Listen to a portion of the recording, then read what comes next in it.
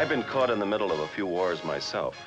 That's why I got a special jolt out of the total honesty of a new war movie called Yesterday's Enemy. I saw screen soldiers who acted like real soldiers, not like tin heroes in mud makeup. I saw the cameras picture both sides of war, the enemy's courage as well as our own, our brutality as well as his. In Yesterday's Enemy, I beheld the red raw guts of war as it really is. I saw men turned into snarling beasts, obeying only one commandment, kill or be killed.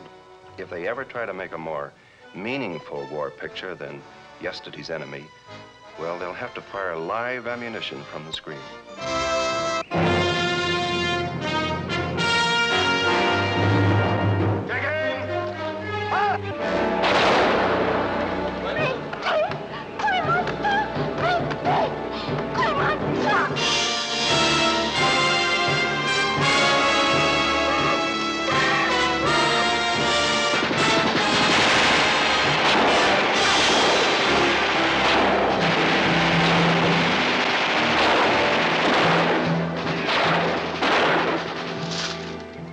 God, Padre, this is war.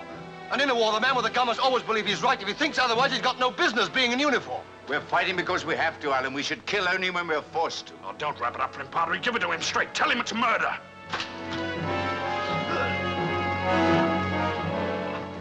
Now then, we're going to do a little talking, aren't we? Andre! Yes, sir. Either you tell me all you know about that map, or I'll shoot you. Give us a rifle each and send two of the younger men in our place. You take a rifle, Padre. Yes. You'd better pray for me. I want you to take that man into the jungle and kill him.